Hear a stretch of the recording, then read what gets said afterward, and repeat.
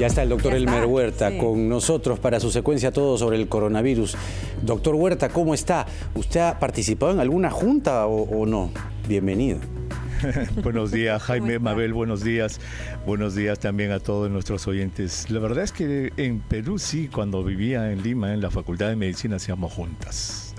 ah, mira, ahí está. Claro, estudiante, no teníamos como esto y entre amigos hacíamos juntas y se juntaba algún dinerito. ¿Y cómo se construye la confianza en esa junta? Porque estábamos hablando con Pedro justamente de si no hay pues mucha confianza, el primero se las puede picar con la plata. Mabel sugiere que en la medida que tú le sepas más chismecitos al uno y al otro, eso es lo que yo he interpretado, eso es lo que yo he interpretado. A mayor chisme de entre las juntas, ya se sabe en la vida secreta, es imposible que se pueda fugar, ¿no? El uno del otro, ¿qué dice? Se mata en la risa, doctor.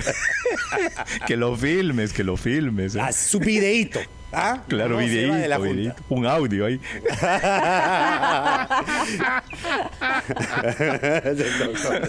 Qué buena risa. Parece el doctor Huertón.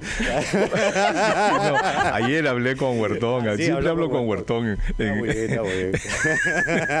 ayer le pregunté a Huertón si es que qué iba a hacer, porque tú sabes que ahora todas las eh, variantes tienen nombres del alfabeto griego, ¿no? Alfa, beta, gamma. Entonces le pregunté a Huertón qué iba a hacer cuando salga la variante teta. ¿Y, qué, va a hacer?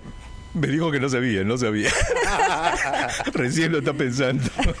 no lo piense mucho, ¿ah? Sí. A ver, vamos al tema que nos reúne, este Mabel Jaime. Mira, ayer ha sido un día importante aquí en Estados Unidos para enfrentar esto de las noticias falsas. Una señal de que el gobierno de Estados Unidos está tomando esto de las noticias falsas en serio, el cirujano general de esta nación, el doctor Vivek Murthy, dijo que la desinformación en salud es una grave amenaza para la salud pública y anunció una confrontación con el gigante de las redes sociales Facebook. En un informe de 22 páginas, ayer el cirujano general dijo que la información errónea sobre la salud es una grave amenaza para la salud pública, porque puede causar confusión, sembrar desconfianza, dañar la salud de las personas y socavar los esfuerzos de salud pública. Y que limitar la difusión de información errónea sobre la salud es un imperativo moral y cívico que requerirá una sociedad en conjunto esfuerzo. Esto me hace acordar, y lo traigo a, la, colación Jaime Mabel, porque ayer en, en, nuestro programa Espacio Vital nos llamó una señora del Cusco. Dice, doctor, yo ya estoy completamente vacunada. Mi hermana tiene 47 años y le toca aquí en el Cusco, pero ella dice que no se quiere vacunar porque han anunciado hoy día que van a dar la vacuna de Sinopharm y mi hermana ha escuchado y mucha gente habla aquí en el Cusco de que esa vacuna no sirve. Mira, desinformación. Cuando ya el ministro de Salud, las autoridades han informado que esta vacuna en estudios peruanos tiene un 95% o más de efectividad para prevenir la enfermedad grave y la muerte, la gente no escucha eso. La gente escucha cuando dicen que la vacuna no sirve, que la vacuna es una basura, que la vacuna es agua, eso es lo que la gente escucha. Entonces yo creo que es importantísimo que reflexionemos como sociedad eh, a qué terreno estamos entrando.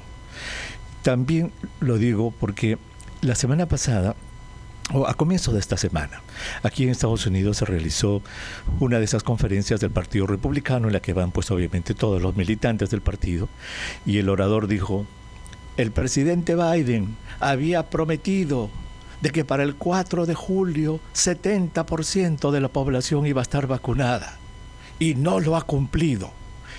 El público se paró y empezó a aplaudir y a reírse como alegrándose de que la sociedad no haya llegado a ese 70%.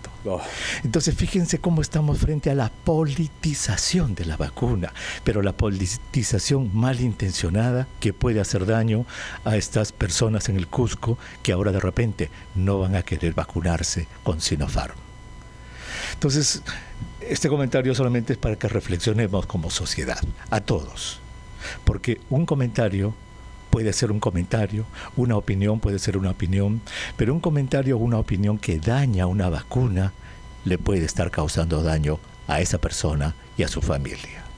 Entonces, Jaime, yo creo que Mabel tenemos que ser sumamente cuidadosos con lo que decimos en público, porque el público escucha, pero lamentablemente parece que escucha más lo negativo que lo positivo. Pero no es solo esa persona, doctor, si me permite, no es solo la familia de esa persona, sino que si no sumamos la cantidad mínima, como lo hablábamos ayer, de 25 millones de peruanos vacunados, no vamos a alcanzar la inmunidad. Esto es un tema colectivo, es un tema de país, no es un tema de que a mí no me gusta. Si no llegamos a esa cifra mínima, las cosas se nos van a complicar aún más. Así es, efectivamente no vamos a lograr la protección de la sociedad, del grupo, de la manada, pero el punto aquí está en que por razones políticas mm. no se puede hacer daño a la gente.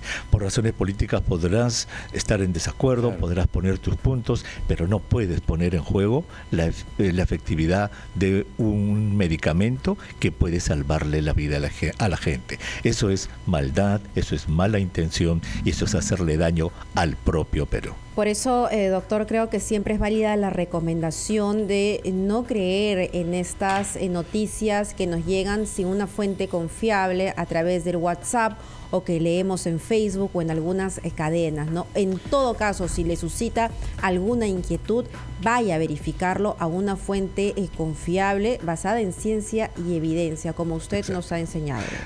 Pero dice también, y el cirujano general lo dijo ayer, que en Estados Unidos, por ejemplo, hay este, cadenas de televisión, por ejemplo la Fox, que da todo el tiempo este tipo de mensajes equivocados y en el Perú también tenemos cadenas de televisión que no dan este tipo de buena información. Así es que no solamente es que no hay que creerle al WhatsApp o al Facebook, tampoco hay que creerle a ciertos medios que lo que hacen es propalar estas noticias falsas. Lamentablemente, pues esto se escribirá en la historia y así como hubo peruanos eh, cobardes en la guerra con Chile, que no estuvieron del lado peruano, sino que cuidaron su pellejo. Cuando esta historia se escriba, años, décadas después, leeremos a esos otros peruanos que no estuvieron del lado de peruanos, sino estuvieron cobardemente contra peruanos. ¿eh? Gracias, doctor Huerta. Muchas gracias. Hasta la tarde. Gracias, Hasta las 3 de la tarde con el doctor Elmer Huerta en Espacio Vital. Son las 7 y 49.